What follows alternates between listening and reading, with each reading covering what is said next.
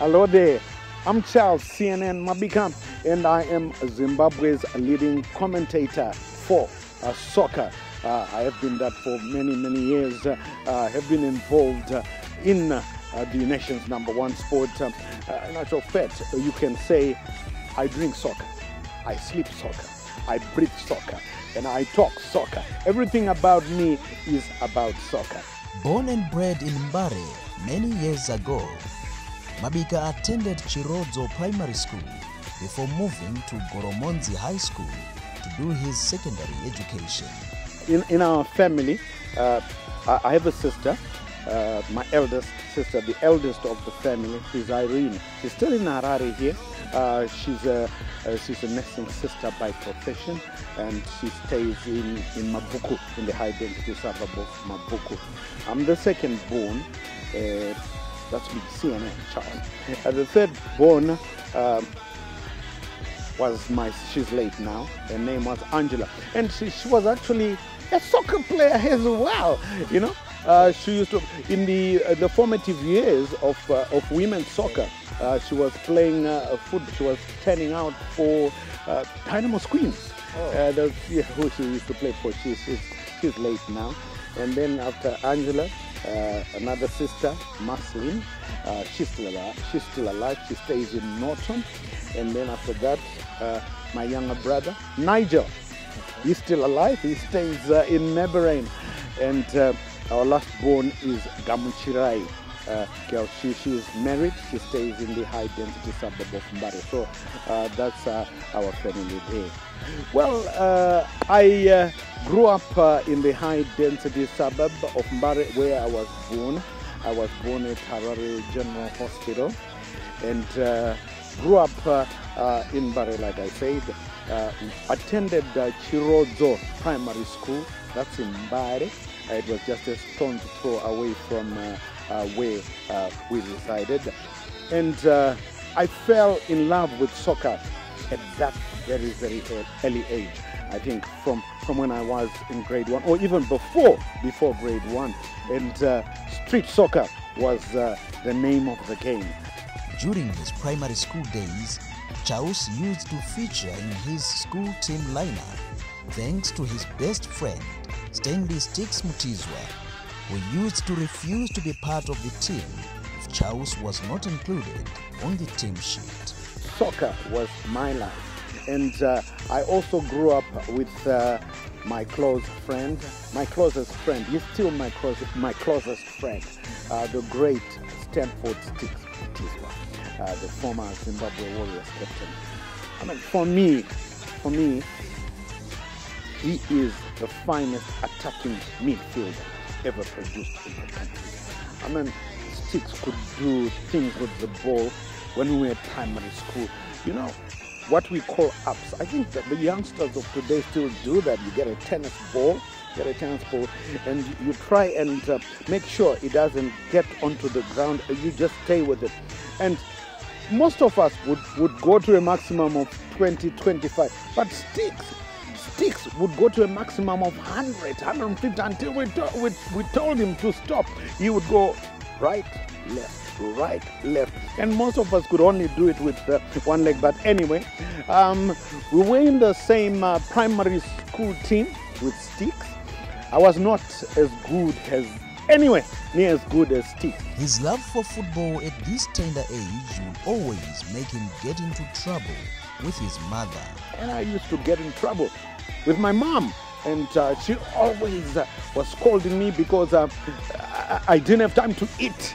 I didn't have time to bath. I didn't have time for anything. And she used to, you know, to, to scold me to say, why are you always, I always tell you, you must watch a bath first before you go to play soccer and then have something to eat before you go to play soccer. And so I was in trouble. Uh, but uh, a very loving mom. She is still alive, uh, my mother, and uh, she, I think she realized that uh, soccer was my life. At Goromonzi High School, Chaus tried his luck as a goalkeeper, but still he was never a regular first team feature. As such, when he was not on the team sheet, Chaus would go to the terraces and do commentary. My academic uh, interest as well was, uh, I think, perhaps greater than soccer. Although I was in love with soccer, I was, uh, I think I tended, maybe it was uh, realizing that could I ever be as good as uh, the likes of Stanford Sticks Mutizwa? And, uh, and uh, I think it dawned on me that no. So I, I chose uh, to perhaps pursue the academic procession, and I did that. After Chirodzo Primary School, I left, I went to boarding school.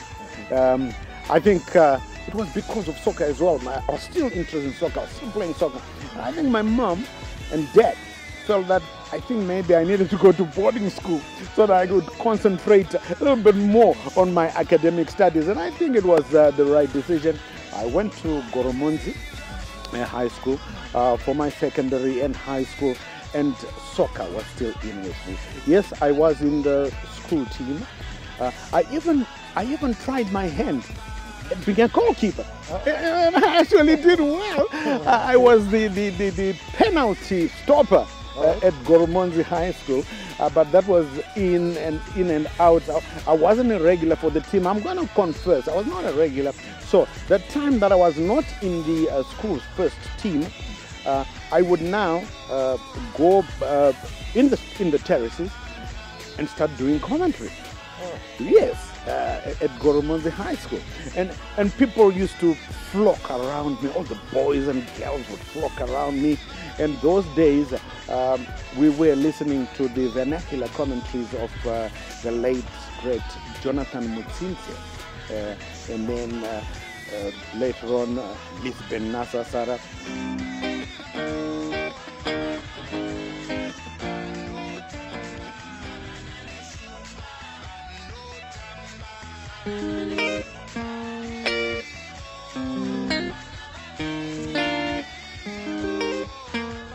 Sara. Is inspired by many in life.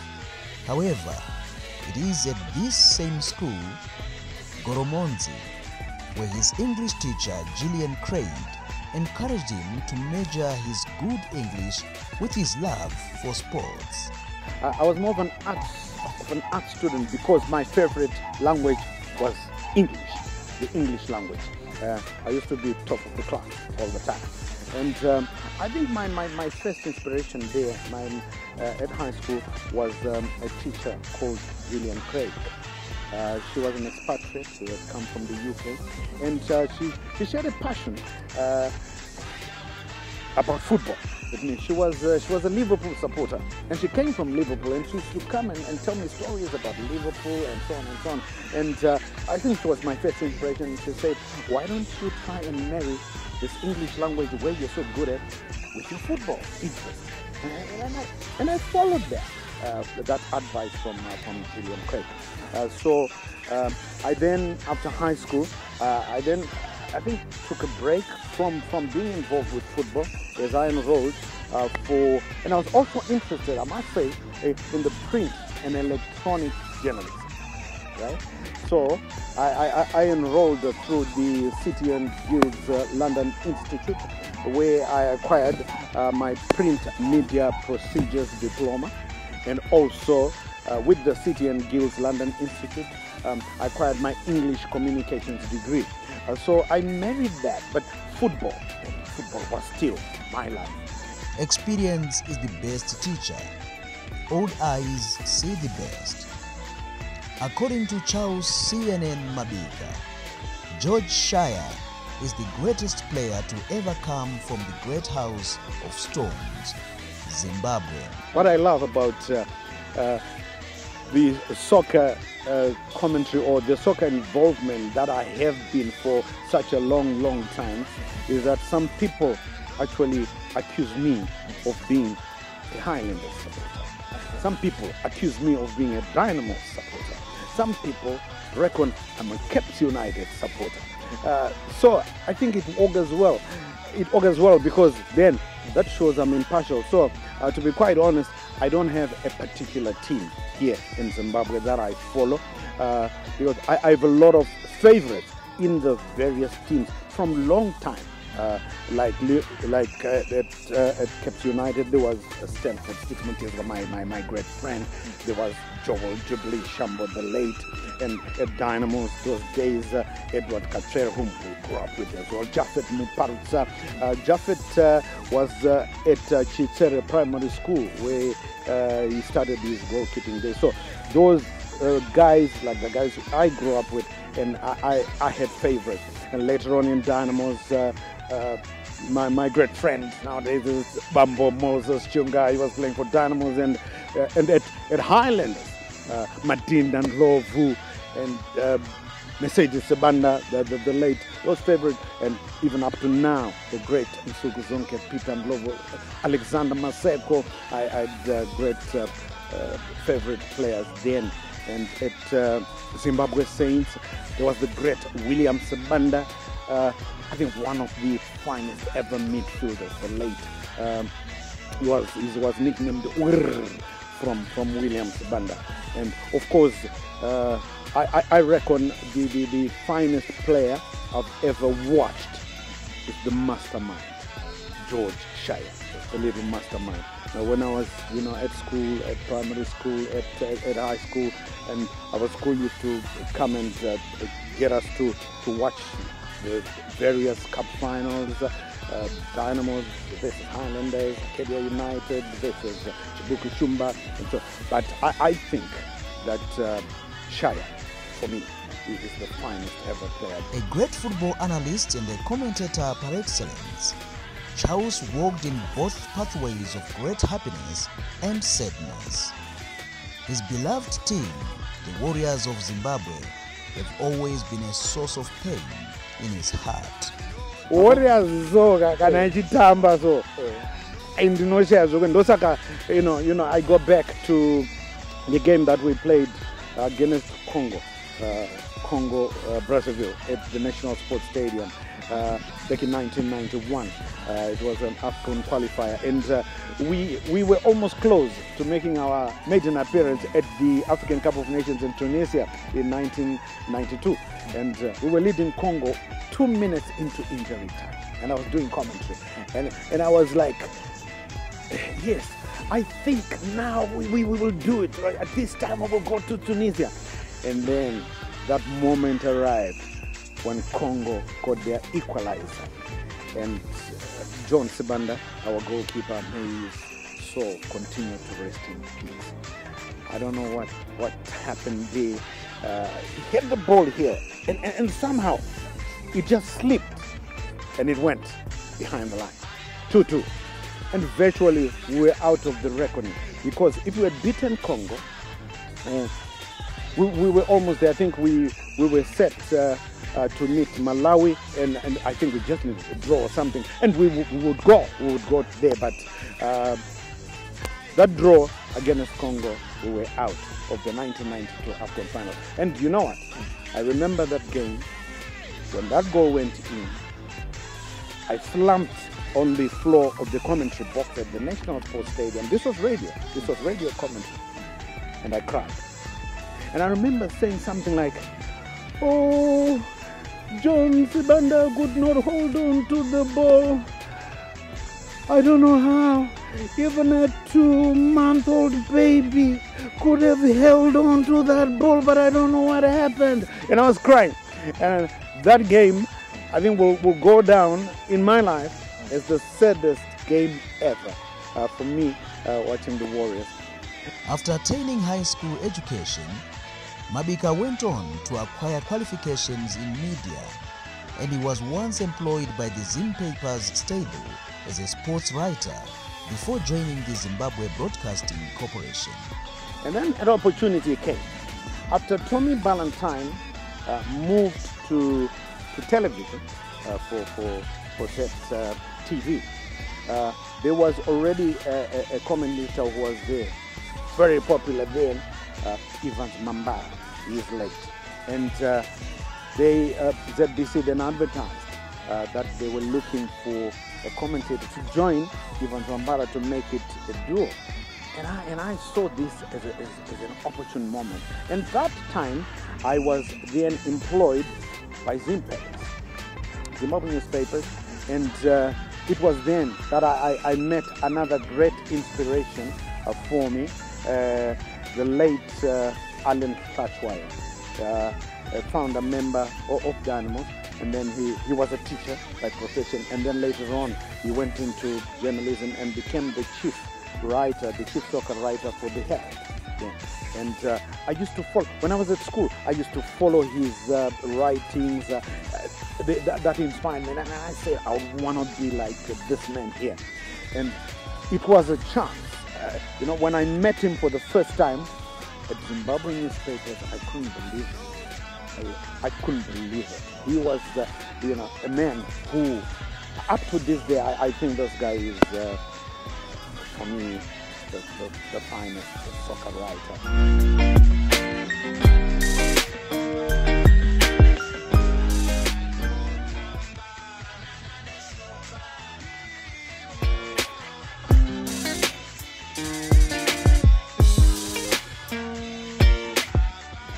The state broadcaster as a sportscaster was not a walk in the park. He had to win battles before he could be certified to be one. There was an elder, uh, used to call him Mukoma, eh, ekumaraini kwedu ainzi anonzi still alive now. Anonzi kuda pondai. Eh, aigara isi aigara muna pili iye aigara muna mwamuka. Ndiye auya kuzonditora eh, tichienda kubhora A- a- saka akanga akuziya ai- aiziya kuda kwandiita sebhora nekutanga kukomenta kwandaita kwezvozvo achinditi iwe iwe mbana uri kudi kuenda kuzbc umbotry ikoko kuzbc unombotry rakaingotya so uh, when this opportunity came uh, that uh, zbc were looking for a commentator uh, to partner evans mambare who had already i think started making his name. And uh, I, I went in and you know what i arrived at, uh, at Pockets Hill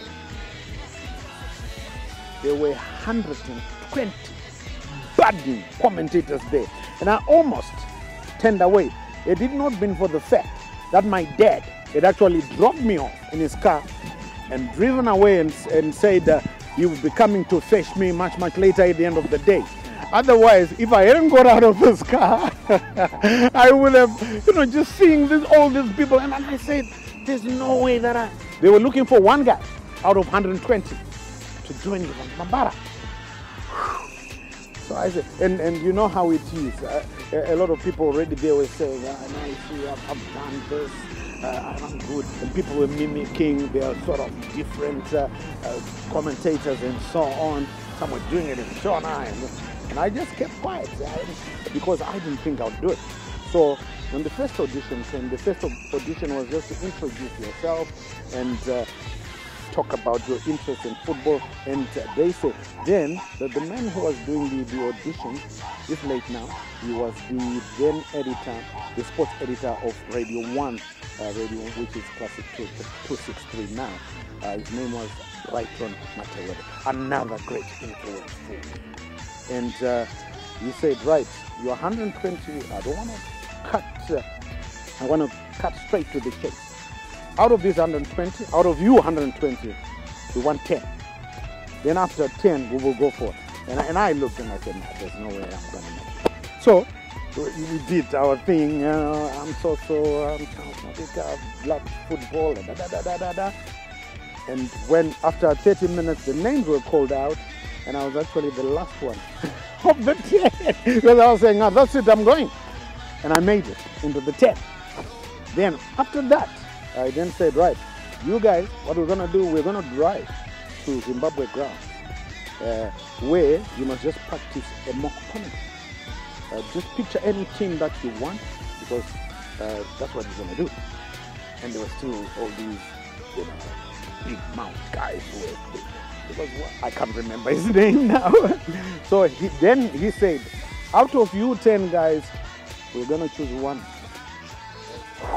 So we went to Zimbabwe grounds in Haifa, in Haifa, into the suburb of Haifa, and they were the 10 of us, and everybody was given a turn. But was given a turn. Uh, my chance came, I think I was the, the fifth one, and I did my thing, and I just pictured a game involving Dynamos and Highlands. Because for me, up to this day, this is the, the, the, the epic showdown of any Zimbabwe uh, football game. And that's what I pictured, you know, the, uh, Dynamo Zazas Island. And I did my commentary. And then after that, we they came back with us. Uh, to, we, we, were doing the, we were at, at the back of the van to ZBC and they dropped us. My, my dad came to pick me up. And uh, he, he asked me what I thought, and I said, ah, yes, I made it to the last 10, but I don't think I'm going to make it. He said, no, don't worry, don't worry. It was two weeks of waiting, an agonizing wait, until the phone rang. I was at home in the Highlands suburb of. I was at home, and my mom picked up the phone. And there was, um, I think, I still remember the lady's name. She was uh, the, the, the secretary at Radio 1. Her name was Moduina. I still remember. And she, she talked to my mom and asked if I was there. And, and luckily I was there. And I came and I, I said, hello, this is, this is Charles. And she hi Charles, this is Moduina. And my, my heart was pumping. My, my heart was pumping. And she said, Charles, congratulations, you made it. You, you are invited to come and talk uh, to the bosses here at ZBC. I did not reply. I couldn't reply. Modrina. said, Charles, are you there? I couldn't. And she just, she laughed. She laughed and she cut the phone. And my mom came and also